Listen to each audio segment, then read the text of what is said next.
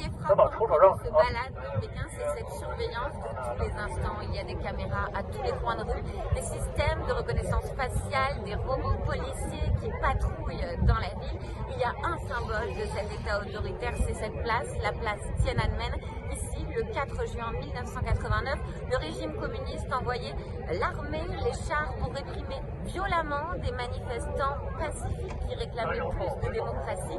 Et depuis, eh bien, Pékin a tout fait effacer cet épisode de son histoire. Et cette place, la place la plus touristique du pays, est totalement euh, verrouillée. Regardez, il faut monter euh, blanche pour pouvoir euh, entrer. Vous voyez, euh, ces Chinois euh, la queue, ils doivent montrer leur carte d'identité.